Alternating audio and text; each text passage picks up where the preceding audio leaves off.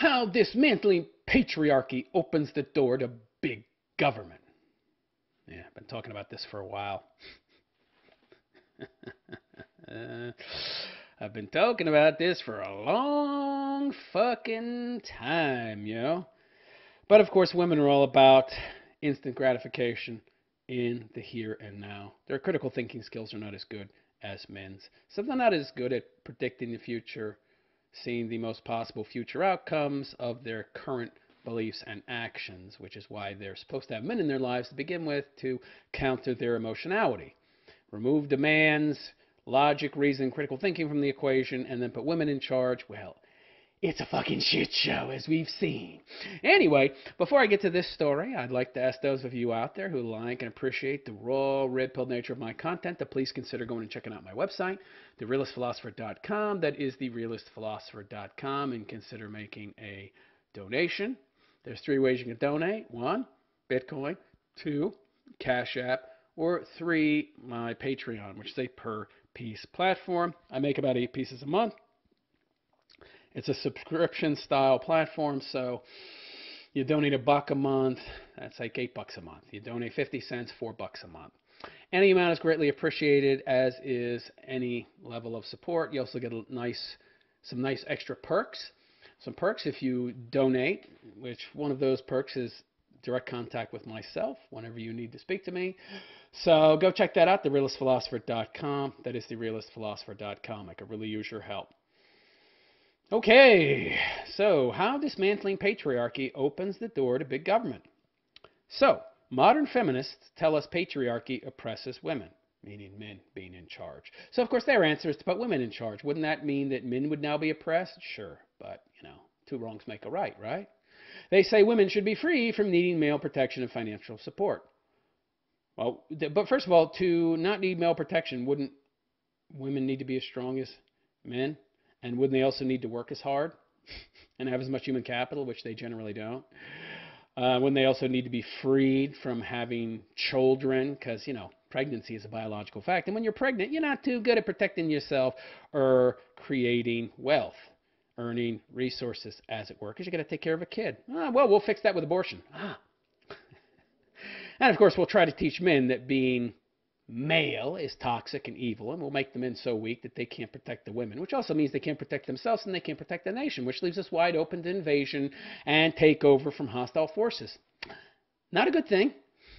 Anyway, instead, women should pursue careers. Yeah, how's that working out for us in the West? Have casual sex.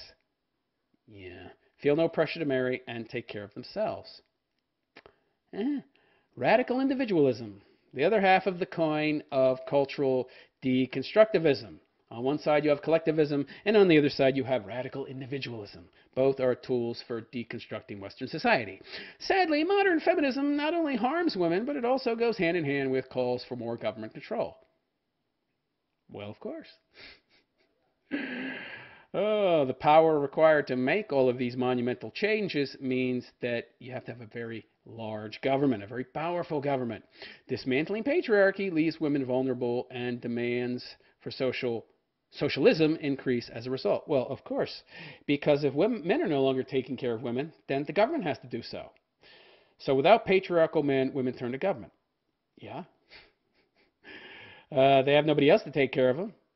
I mean, it's still men taking care of the women, but, uh, you know, it's the government stealing from the men to then give to the women instead of the men giving the money directly to the women. And of course, in the process, the government gets their cut and justifies their larger, more powerful existence. The rotten fruit of feminism's message that women can be fully independent and don't need men is all around us. Marriage rates are at historic lows. Thank God. How are things going to change if men don't stop denying women their resources? Women now hold more jobs than men in the U.S. workforce. Single motherhood has reached alarming levels. Meanwhile, we're also seeing a massive uptick in young women's support for socialism. But why is this? By the way, America is now the number one country for single parents. number one. Feminism demanded that men stop being protectors and providers. Why? Oh, because women, they're equal to men. They're just as strong as men. That's the implication. And a lot of feminists, by the way, teach that women are just as strong as men. And this idea that men are stronger than women, that's a myth. That's a social construct. It's interesting. Why don't one of you ladies out there thinks you're so strong, come have an arm wrestling contest with me. I'm old and fat, and I'll still probably beat you. Oh, yeah, but you're stronger. Mm, yeah. I meant the harmful idea that women can do it all alone which they can't. Many women now are in the role of provider themselves. Oh boy.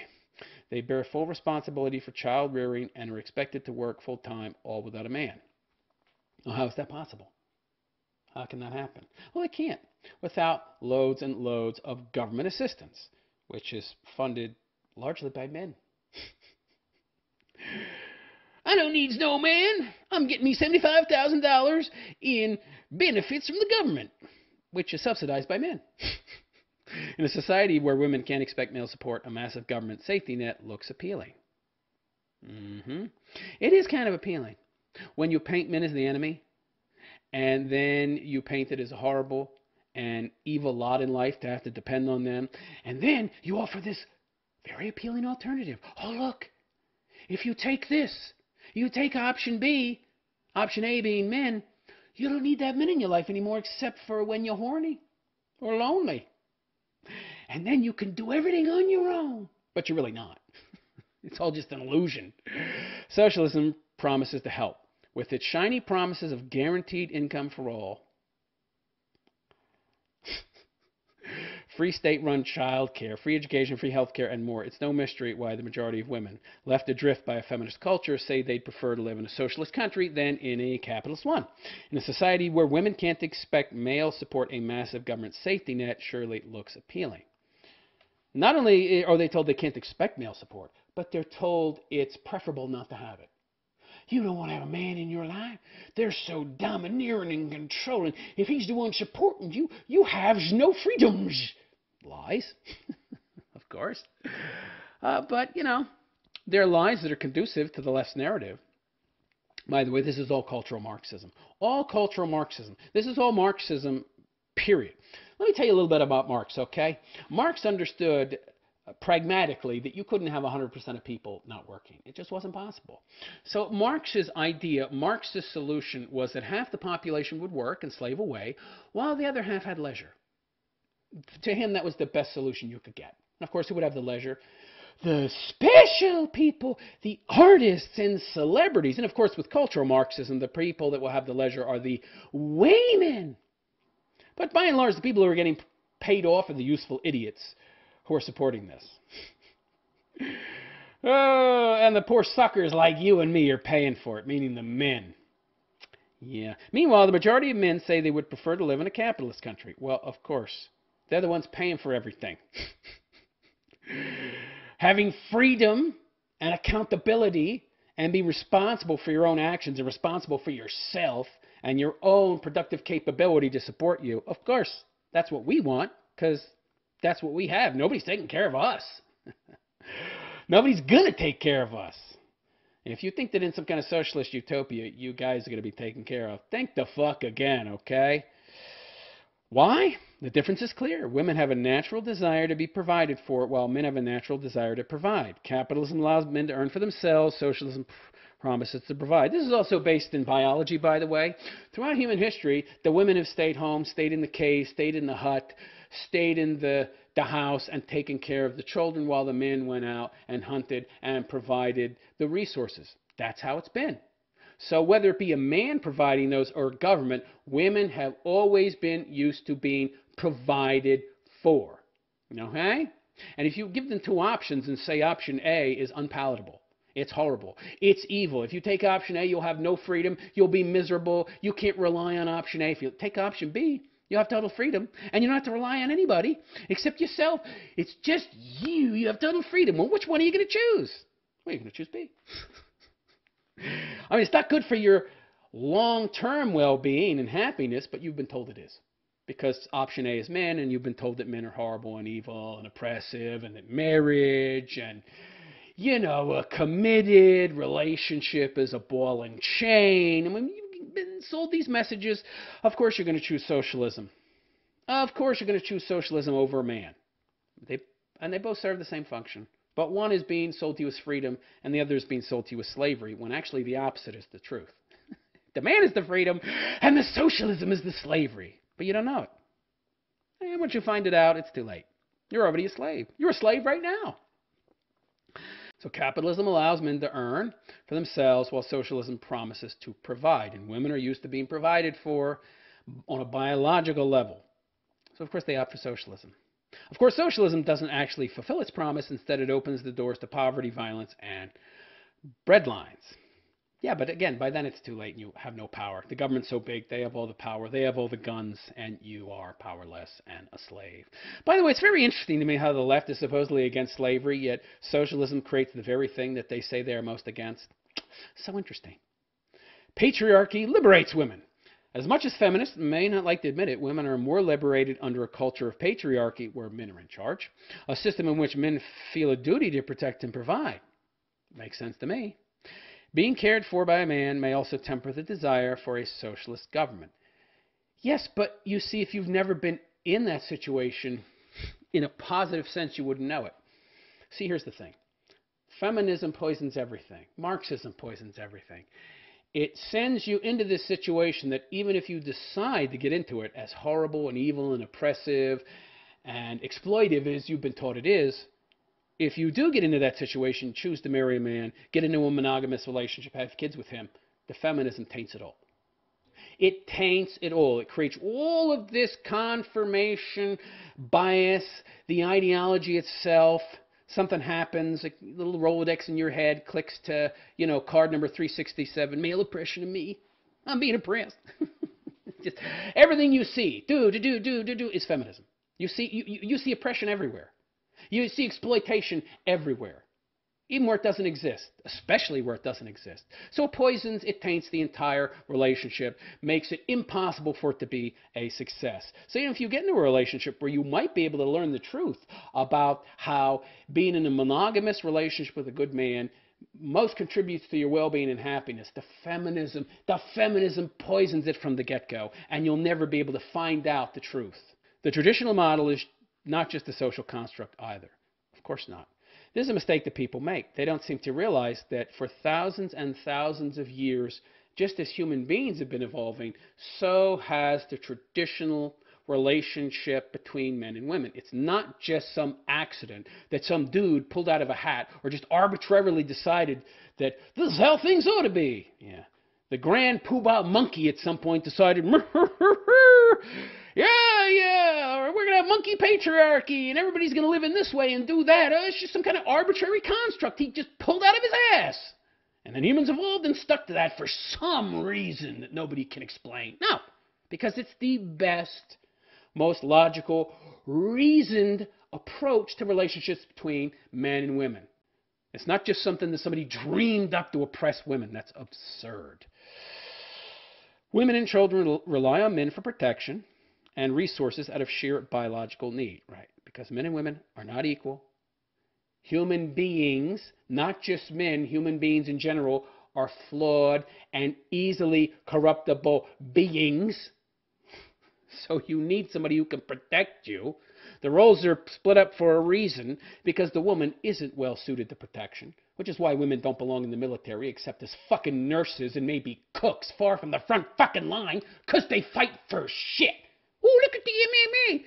Let's talk about extreme exceptions to the motherfucking rule, who are, by the way, fighting other women. Spare me the bullshit about Ronda Rousey, okay? I would kick her motherfucking ass. Spare me this bullshit, okay? About how women are so much better and tougher and stronger than men, or they're equal at least to men, or they could do the same job as a man. It's bullshit, okay? The biological reality is men are stronger than women. Men are actually, on average, smarter than women. We're better at certain tasks than women. Women are best suited to raising the child and taking care of the household, and the man is best suited to going out and fucking earning wealth, creating wealth, finding resources. There's a reason that these roles exist, and it's not just some kind of arbitrary social construct designed to favor men. If that was the case, the human species wouldn't have continued to exist. It favored both sexes. And the only people that were nobody was oppressed by other sexes. Men have not been oppressed by women, by and large, and women have not been oppressed by men. We've all been oppressed by reality. She goes on to say women are physically weaker, making them more vulnerable to violence and exploitation from bad men. I'm going to object to that because they are vulnerable to violence and exploitation from bad people because evil, violence, human depredation, it knows no bounds or sex. None. Women also experience pregnancy, a beautiful and incredible gift, and when we have small children, we're less able to go out and earn lots of money. Correct. And somebody's got to raise that child. Oh no, both parents can go out and then the state can raise the child. That's as we're finding out, that's not a very good idea. We've got all these useless idiot lemmings running around who can't think for themselves and have no human capital, no useful skills, no ability to create wealth. And at the same time, they've been taught that men are evil, patriarchy is bad, relationships are oppressive, and so they don't have very many means to find meaning in their life, so they become bitter, angry, resentful, and they blame the current status quo. Well, of course. Look at the way things are now. Capitalism, which isn't really capitalism, but cronyism. Capitalism and this Western decadence. Oh, it's so evil. Oh, that's this is why I'm so unhappy and unfulfilled. We need to tear it down and rebuild from the ground up. Yeah, idiots. they don't understand it's their ideology that's making them unhappy, not the current status quo. Although the current status quo has a lot to do with it because that is inculcating this ideology within them via the media and via the educational system. So it goes on to say patriarchy makes sure we're taken care of during this wonderful yet taxing time so that we can focus on our uniquely feminine gift, the ability to nurture new life. Yeah. And also raise the kids while we go out and earn the resources. But of course, you know, we can't have that. The state has to have control of these kids so it can inculcate within them this socialist, leftist, patriarchy is evil nonsense so that then the Western culture as a whole can be torn down and then rebuilt as a global communist utopia, which has never existed. because utopia is not going to come out of socialism or communism. You would think people would have figured that out after about 100 experiments over the past century or so, but no. No, no, no, no, because that wasn't real communism, right? That wasn't real socialism. Yeah, okay. Uh, while a feminist society tells men they no longer must feel a duty to, to provide for women and children, and of course it tells women that they shouldn't want a man to provide for them because it's it's enslaving you. The need for this role doesn't go away. Of course it doesn't. You can't change reality. uh, you can't change an is with an ought. Eh, doesn't work that way. Of course, leftists believe it does. They think perception is reality and everything is relative. A vacuum is created, one that's often filled with the calls for a bigger state. Right, because the more people that you turn to a socialist bent, the more people need socialism to support them until you have a government that's so big, so overwhelming that it controls everybody's lives and you have no freedom whatsoever. Which seems to be okay for women. seems to be okay with them. They don't seem to have a problem with slavery. Hmm. Anyway, let me know what you think in the comment section, and please like and subscribe to my BitChute channel if you have not already bitchute.com forward slash the realist philosopher. And if you really like and appreciate my content, again, please consider making a donation by going to therealistphilosopher.com. That is therealistphilosopher.com. I could really use your help.